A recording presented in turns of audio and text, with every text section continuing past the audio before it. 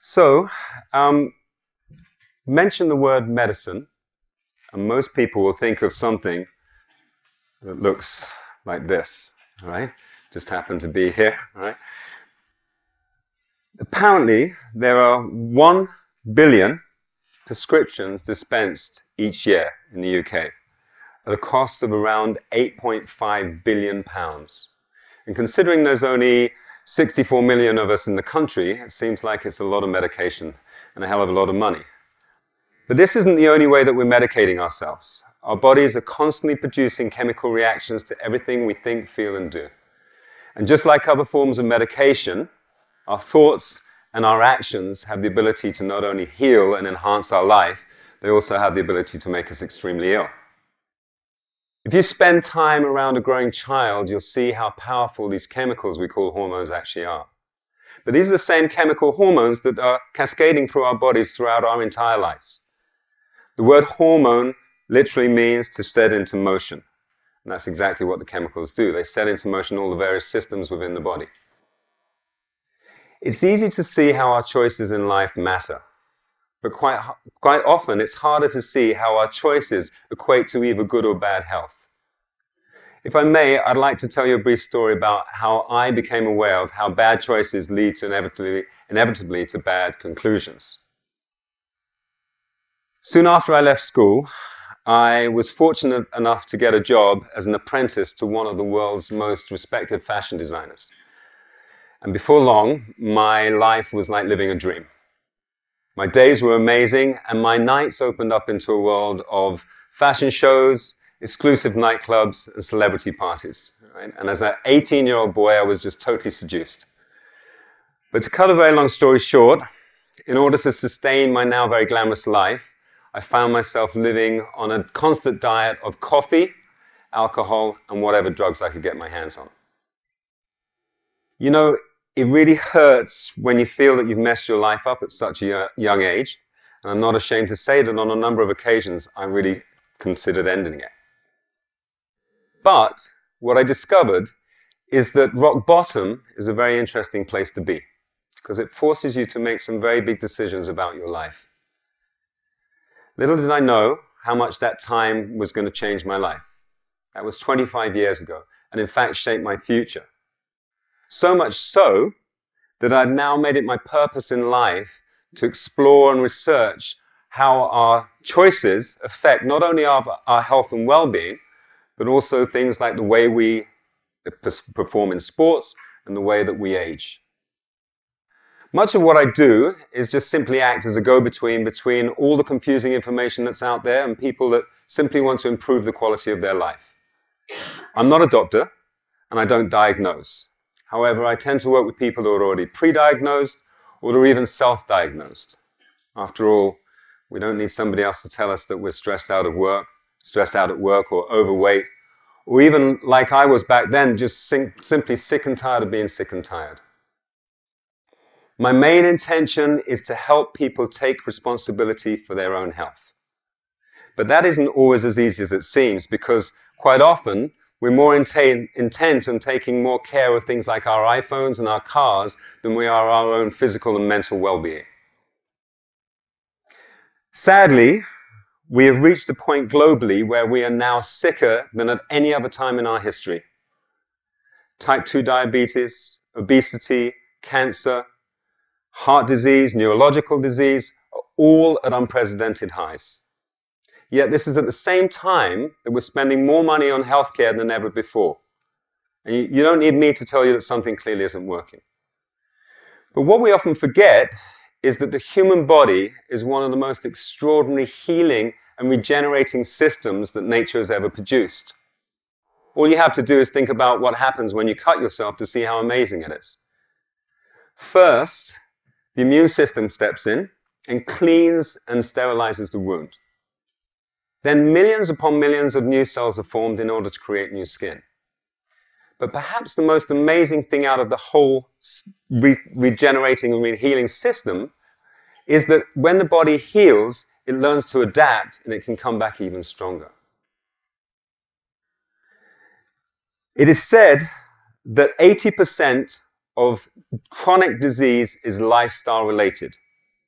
which simply means that it can be prevented with simple and cheap lifestyle strategies. And these strategies really aren't complicated. In fact, it's the small, actionable steps that often produce the best results.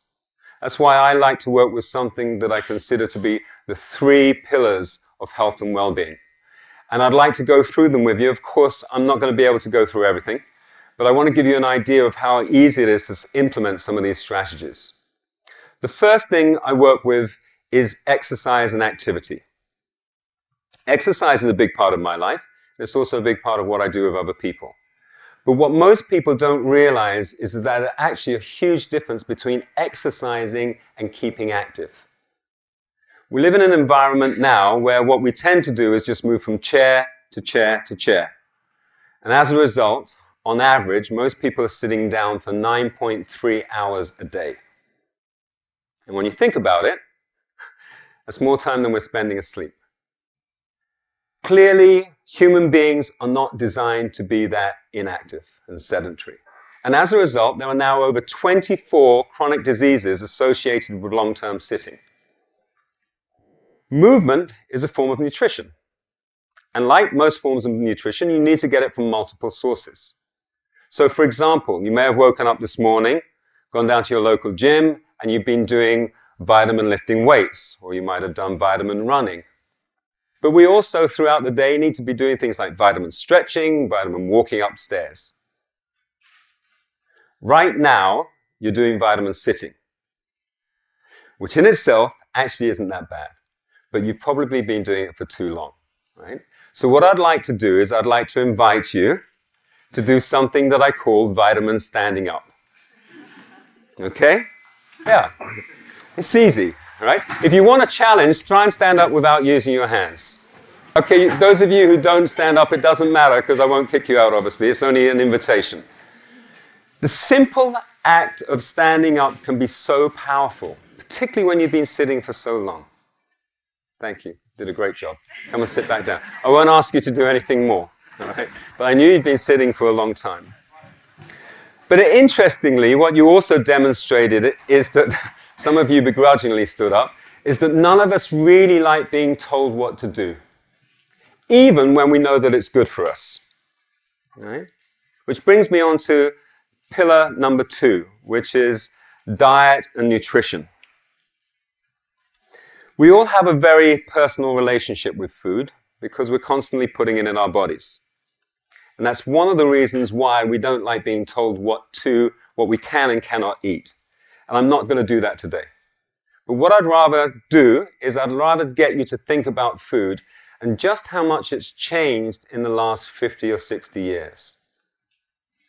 Much of the food that we're eating today and drink is processed, which means it's been manufactured to taste good, which also means that it's had other ingredients added into it, mainly ingredients like salt, sugar, and fat. But there's a real movement away from these highly processed foods to foods that now, ironically, are being called real foods. These are foods that exist in their original state. And these are also foods that don't have ingredients decks slapped on the side with ingredients that you can hardly pronounce. And of course, there's a basic logic that said if you can't pronounce it, then you really shouldn't be eating it, right? It's clear that our health is directly related, related to the quality of food that we eat. Eating real food isn't that hard, but it just might take some planning ahead. But it's certainly worth it. There's more to the science of nutrition than just eating real food. But as I said before, you actually don't have to do a lot to make a difference. You just need to know what to do, and then you do it on a regular basis. Which brings me to pillar number three, which is rest and restoration. A lot of the work that I do is stress related. And there are many coping me mechanisms for managing stress, but there's one that I just love above all. And it's one that's basically been totally forgotten, and that's sleep. Sleep is nature's way of naturally metabolizing stress. Plus, it's vital, which means it's essential for life. But it seems that the more stressed we become, the more we've ne neglected the natural healing powers of, of sleep. Contrary to popular belief, less sleep doesn't make us more productive. In fact, most of the research says exactly the opposite. And there's a lot of research now that suggests that it's the quality of our sleep as well as the quantity of our sleep which is important. Quality of sleep's interesting. Quality of our sleep really relies on our internal body clock being in sync with the day and night. And that means the light and the dark. The problem we face here is that for many of us, throughout the day, we're shielded from the natural light. And then in the evenings, we're subjected to extended periods of artificial light. One of the easiest ways to promote good quality of sleep is simply by getting access to as much natural light as you can throughout the day.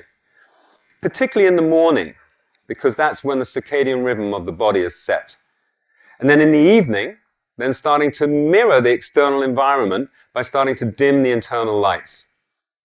Of course, this now brings up the issue of computers at nighttime, computers and screens. And there is something called iPad insomnia. And I'm seeing more and more of it all the time, actually. But many of the computers that we have nowadays, they also have dimmers on them as well. And there are apps that you can download onto your devices that actually eliminate the blue light within the screen, which is supposed to be the most detrimental. Quality of sleep relates to quality of life. Whether we realize it or not, everything we do in life is a choice. And the choices that we make today not only have the ability to improve our quality of life tomorrow, but the choices we make in the long run can affect our health and in, in fact extend our life. It was Thomas Edison who once predicted that doctors of the future will prescribe no medication. Instead, he said, they will interest their patients in the care of the human frame, in diet, and in the cause and prevention of disease. Thank you very much.